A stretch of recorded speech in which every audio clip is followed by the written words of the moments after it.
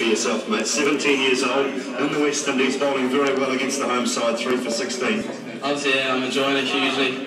And hopefully we can chase this title now, keep the head, working on it. You think you've uh, restricted them to enough? Where's the key lie for you guys on the top four? Um, well, I think it's important at the start. Obviously, the pitch is going to take spin, so it's going to be hard to get spinners away. And so maybe with the quicker pace bowlers. All right, George, well bowled tonight. Congratulations, mate. Hopefully the batting goes well. Thank you.